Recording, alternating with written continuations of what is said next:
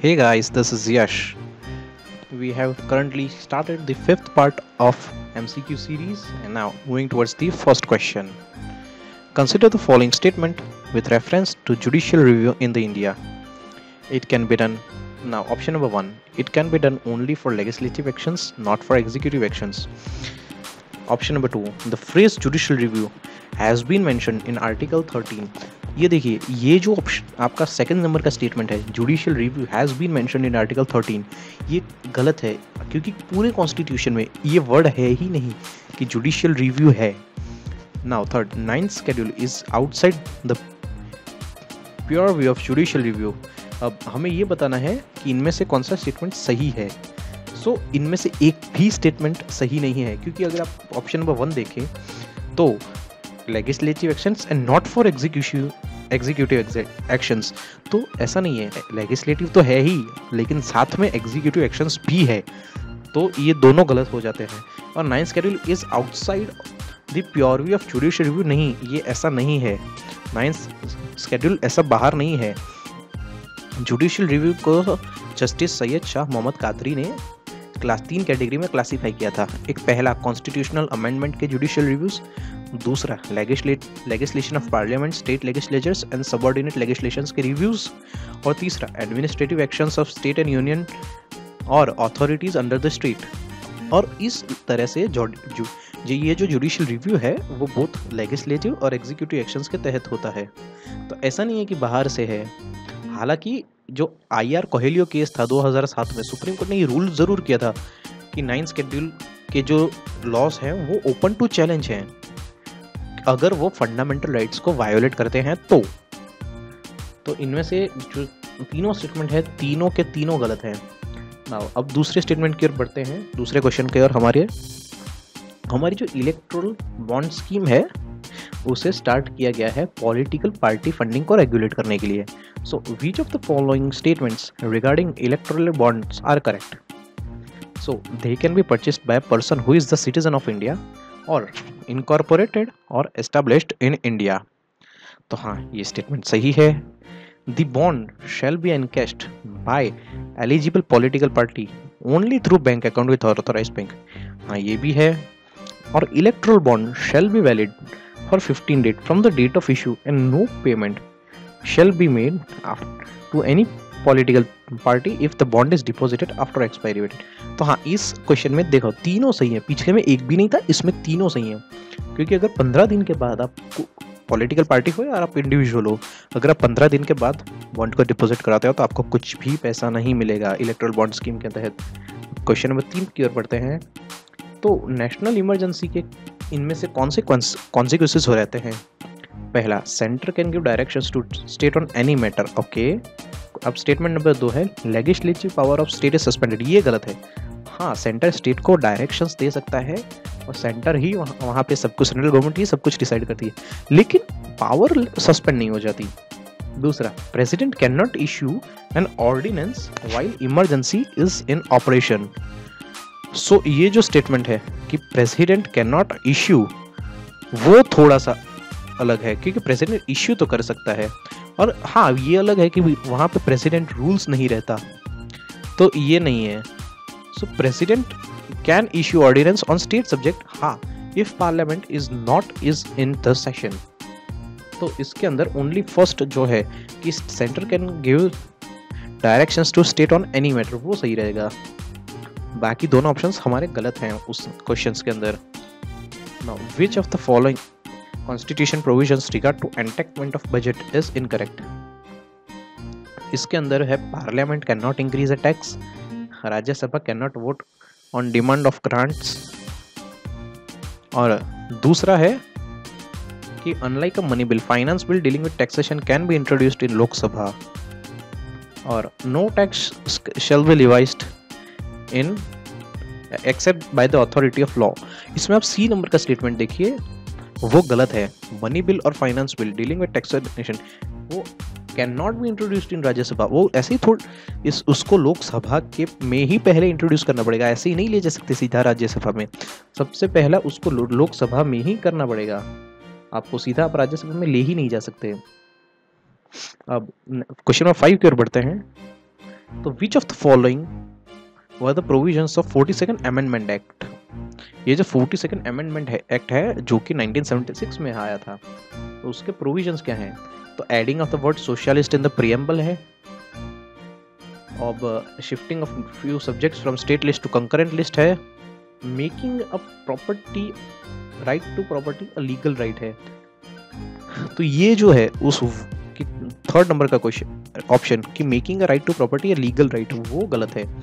हाँ adding word socialist in preamble हाँ वो सही है। और कुछ स्टेट लिस्ट के अंदर जो सब्जेक्ट है, उनको कॉन्करेंट लिस्ट में ले गए हैं। इसके सिवा कुछ नए डी भी किए गए हैं। और और उसके सिवा फंडामेंटल ड्यूटीज़ जो कि 51 ए में आती हैं, वो उनको ऐड किया गया है।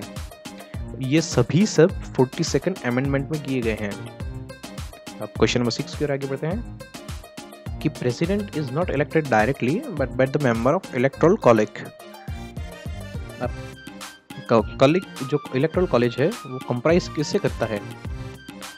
Elected members of house of both of the parliament elected members of legislatures, elected members of legislative assembly of union of in territory of union territories. तो इसका आंसर है C president is not directly है, ठीक? आप state legislature में से elected members नहीं होते जो दोनों हाउस ऑफ़ पार्लियामेंट है और legislative assemblies of union territories है, उसके अंदर से रहता है। जो रेगुलर स्टेट असेंबलीज लेजिस्लेचर्स का वहाँ पे वोटिंग नहीं रहता। नेक्स्ट क्वेश्चन की ओर बढ़ते हैं। कि ये consider the following statement with reference to high court the जज of high court are appointed by governor after the consultation of chief justice next president determines the strength of a high court from time to time depending on the workload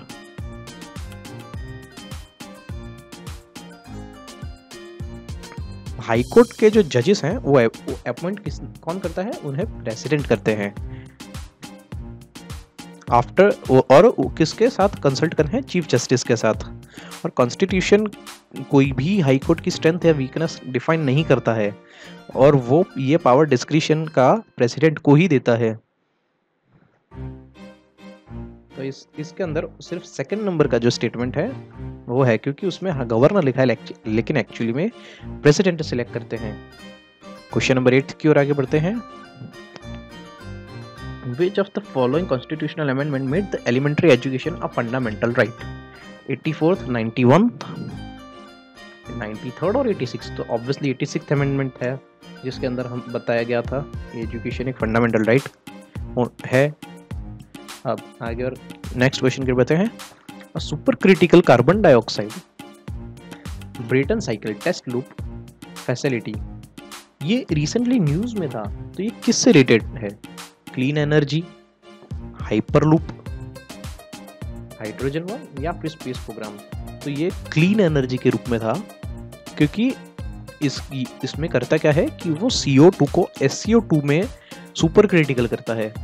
तो ये describe करता है कि state of carbon dioxide और उसका above the its critical temperature जो कि है 31 डिग्री सेल्सियस और क्रिटिकल प्रेशर जो कि 73 एटमोस्फेरिक प्रेशर ऐसा, ये ब्रेटन साइकिल ऐसा डिफाइन कर रहा है। तो इसी वजह से ये न्यूज़ में था अभी अभी question number ten the constitution describes India as union of states because the federation is result between agreement among the states और states have no right to succeed from secede from federation अब दोनों में से करना है। तो देखिए federation is not the result of agreement of states like American federation हाँ अमेरिकन फेडरेशन में ऐसा है कि वो एक एग्रीमेंट है और कुछ नहीं है। हाँ और लेकिन ये देखिए आप question number statement number two states have no right to secede from federation वो परफेक्ट है हाँ तो it's only two now moving to question number 11 the chairman of state public commission is appointed by तो कौन करता है? ये governor करते हैं. President prime minister cabinet secretary नहीं करते. ये पावर सिर्फ़ और सिर्फ़ गवर्नर के पास है, क्योंकि governor they are of particular state तो ये उनके एग्जीक्यूटिव पावर्स ऑफ़ गवर्नर के अंदर, अंडर में आते हैं ये. Now echidnas are robust creatures and found in various environments तो उनके लिए जो कौन सा स्टेटमेंट है वो करेक्ट है। उनका बॉडी टेम्परेचर जो है वो काफ़ी लोअर है regarding mammals around thirty degree Celsius और वो फ्लक्चुएट भी रहता है टेन डिग्री सेल्सियस अब उनके ब्लैक फीट जो हैं वो पॉइंटेड बैकवर्ड रहते हैं, जो help them dig burrows now statement number three they lay eggs but their young but keep their young once in mothers pouch और तो फिर इसमें से है ऑल ऑफ़ द ये तीनों सही हैं। ये दे ले वो एग्स तो करते ही ले और अपनी माँ के पाउच में रहते हैं जनरली और वो एकिडनास जनरली पाए पाए कहाँ जाते हैं? ऑस्ट्रेलिया और न्यू गियोना में पाए जाते हैं। एक्चुअली और और हाँ वो ये दुनिया के सबसे ओल्डेस्ट सर्वाइविंग मैमल्स भी हैं।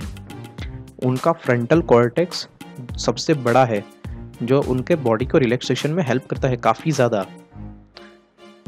नाउ नेक्स्ट क्वेश्चन अभी अभी फाइनेंस मिनिस्ट्री ने ऑपरेशन ग्रीन लॉन्च किया है इनिशिएटिव ऐसा है। तो उनमें से कौन सा स्टेटमेंट सबसे बेस्ट इसको डिस्क्राइब करता है? सॉरी दोस्तों तो पहला है initiative to turn all the government office into paperless next initiative to increase fruits and vegetables production in country now और है initiative to turn all the major airports of the country carbon neutral और initiative to set up solar panels on the major rivers routes conserve water from evaporation and also generate electricity. तो इसका answer है initiative to increase fruits and vegetable production in the country क्योंकि उस operation green के अंदर कहीं भी ये डिफाइन नहीं किया गया है कि setup solar panel on major river routes या फिर turn all the major airport of the country carbon neutral ये दैट्स वो प्रैक्टिकली पॉसिबल भी नहीं है वैसे। अभी अभी अगर हम देखें तो लेकिन फिर भी ये सही नहीं है। अब युक्टैन जो पेनिनसुला है, वो अभी अभी काफ़ी न्यूज़ में था। उसकी दो large network of underwater caves जो है अंडर वाटर केव्स है, उसकी वजह से तो ये एक्चुअली आई कहाँ है? तो ये युक्टैन पेनिनसुला आया है मैक्सिको के अंदर। और ये न्यूज़ में क्यों था? क्योंकि जो जाइंट स्लॉट होते हैं स्लॉट्स उसके और माया, मायान सभ्यता, आपने नाम सुना होगा, माया। तो उसके जो गॉड हैं कॉमर्स के, उनके फॉसिल्स वहाँ मिले थे। और ये जो युक्तंग पेनिनसुला है, उसमें आज से नहीं, पहले भी ऐसी मोमेंटल मोमेंटल चीज़ें मिरालिक्स मिली हैं। तो और ये जो है, वो उसके नीचे एक्सटेंसिव नेटवर्क है सिंक होल्स का, जिसके जो सब टेरन वाटर्स हैं, उसको वहाँ पे कैनोट्स कहा जाता है, जिस, उस वहाँ पे ये, इसका काफ़ी बड़ा एक्सटेंसिव नेटवर्क है।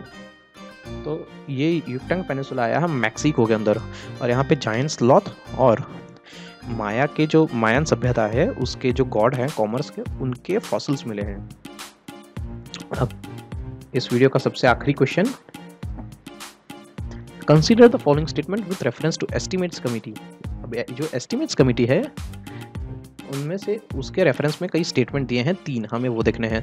पहला स्टेटमेंट है Rajya Sabha has no representation in this committee ये कमेटी का मतलब सिर्फ़ और सिर्फ़ लोकसभा से चलाता है हाँ तो वो है। इस कमेटी में राज्यसभा का कोई रिप्रेजेंटेशन नहीं है। इस कमेटी के एक्चुअली थर्टी मेंबर्स होते हैं और तीनों तीसों तीस लोकसभा से होते हैं। It's members are selected by the speaker हाँ ये गलत ऑप्शन है। इसके मेंबर स्पीकर से नहीं होते इट्स अब जो प्रोपोर्शनलिटी रिप्रेजेंटेशन के हिसाब से अपने आप ही ये लोग सिलेक्ट करते हैं। और it examines the budget after voting